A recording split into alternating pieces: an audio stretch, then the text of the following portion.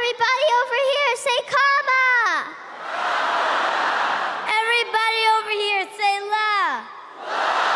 Together.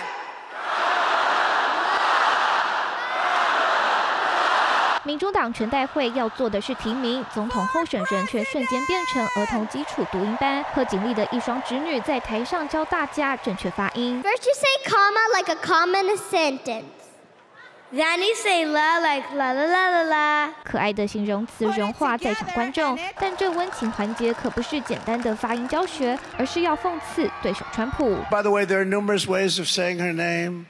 They were explaining to me you can say Kamala, you can say Kamala. I said, don't worry about it. It doesn't matter what I say. I couldn't care less if I mispronounce it or not. I couldn't care less. 活到八旬的堂堂前总统，一个卡马拉经常念错，让满堂民主党人透过行动讽刺川普。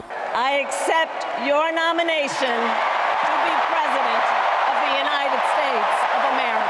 不过，在贺锦丽正式成为候选人之后，首先得面对川普炫耀自己的漂亮成绩单.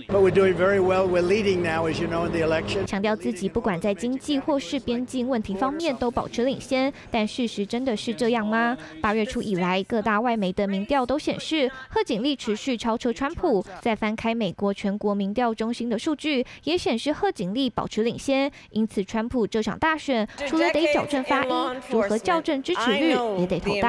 三立新闻，综合报道。